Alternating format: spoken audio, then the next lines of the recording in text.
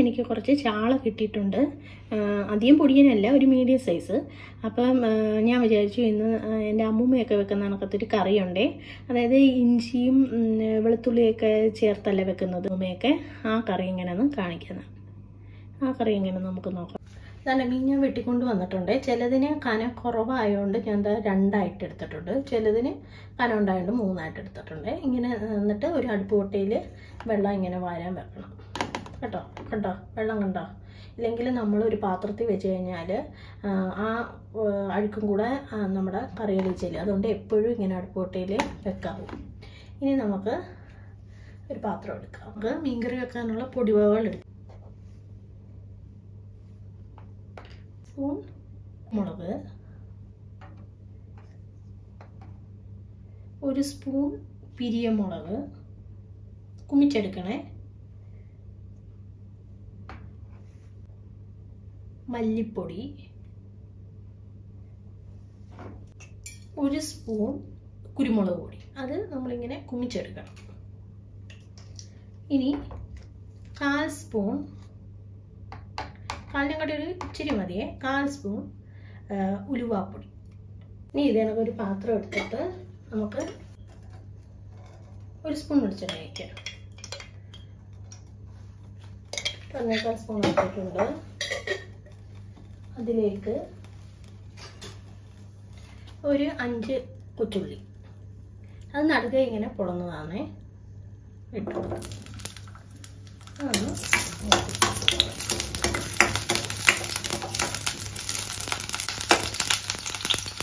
ഈ മൂപ്പ് മതി. നമുക്ക് സ്റ്റൗ ഓഫ് ചെയ്യാം.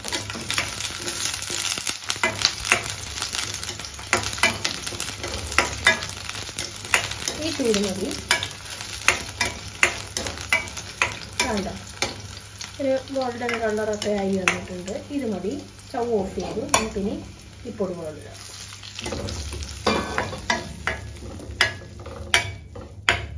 നമ്മുടെ പാത്രത്തിന് ചൂടുണ്ട്. ആ ചൂടിൽ നമ്മുടെ പൊടികൾ മൂത്ത് കിട്ടിയാൽ മതി. അതിന്റെ ചൂടിൽ അത് മൂത്ത് കിട്ടിക്കോളും. അപ്പം പാത്രത്തിന്റെ ചൂട് ആറുന്നവരെയും നമ്മൾ കുറച്ച് നേരം അത് ഇളക്കി കൊടുക്കണം. നമുക്കിത് അരച്ചെടുക്കാം. ഈ അരപ്പിന്റെ കൂടെ ഒരു ചെറിയ കഷ്ണം പുളിയും കൂടെ ചേർത്ത് അരയ്ക്കാം. അരപ്പ് അരച്ചെടുത്തിട്ടുണ്ട്. ഈ ചട്ടിയിലേക്ക് ഈ അരപ്പ് ചേർക്കാം.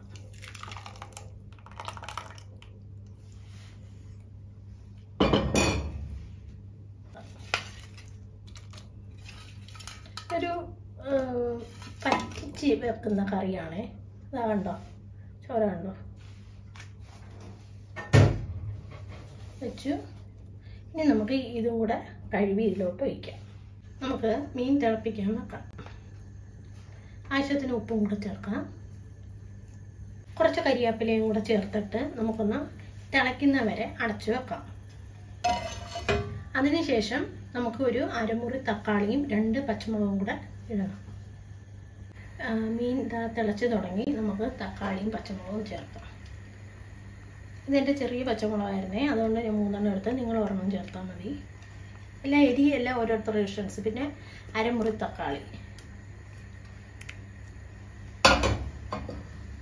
ജസ്റ്റ് ആക്കിയിട്ട് അടച്ചു വെക്കാം. ഈ മീൻകറി അധികം നമ്മൾ സ്പൂൺ ഇട്ട് ഇളക്കി ചെറിയ മീനല്ലേ.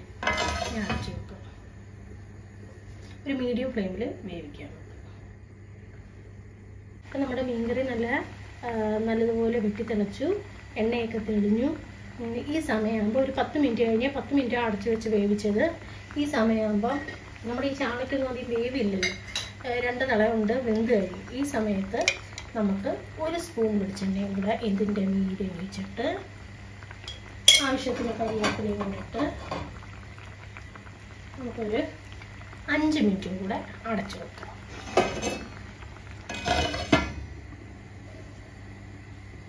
നമ്മുടെ മീൻകറി നല്ലതുപോലെ തിളച്ച് പറ്റി നല്ല പരുവത്തിലായിട്ടുണ്ട്.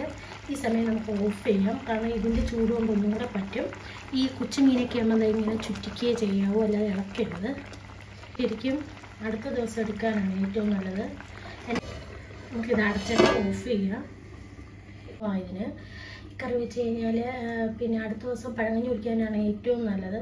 ഈ രാത്രി എടുത്ത് ഒന്നും കൂടെ തിളപ്പിക്കണം. നല്ല ടേസ്റ്റാണ് എല്ലാവരും ട്രൈ ചെയ്യണം. എല്ലാവരും ട്രൈ ചെയ്യണം. നല്ല ടേസ്റ്റുള്ള കറിയാണ്. എല്ലാവരും ട്രൈ ചെയ്തിട്ട് ഫീഡ്ബാക്ക് തരാം. നിങ്ങൾക്ക് എന്റെ ഈ റെസിപ്പി ഇഷ്ടമാവുകയാണെങ്കിൽ നമ്മുടെ ചാനൽ കയറി സബ്സ്ക്രൈബ് ചെയ്യണം ലൈക്ക് ചെയ്യണം ഷെയർ ചെയ്യണം. താങ്ക്